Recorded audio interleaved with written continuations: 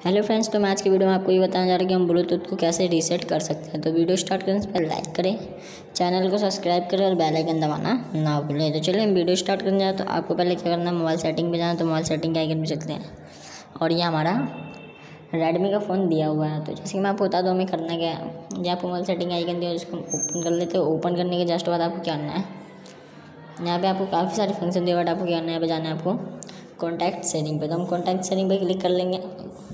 Click करने के बाद आपको क्या करना है? जैसे कि आपको यहाँ जाना है reset mobile data mobile network sorry wifi mobile network and bluetooth तो हमें ब्लूटूथ रीसेट करना है तो हम क्लिक कर लेंगे।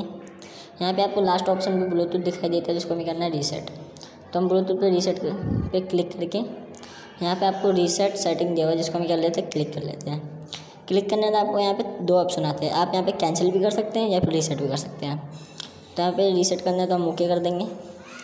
कुछ देर रुकेंगे, फिर आपको यहाँ पे मिलेगा note been have been reset तो हमारा रीसेट हो चुका है नेटवर्क सेटिंग तो यहीं पे हमारी वीडियो समाप्त होती है और अगली वीडियो के लिए हमारे साथ बने रहें। अगर आपको वीडियो पसंद आए तो लाइक करें, चैनल को सब्सक्राइब करें और बेलाइकन दबाना ना भूलें। Thank you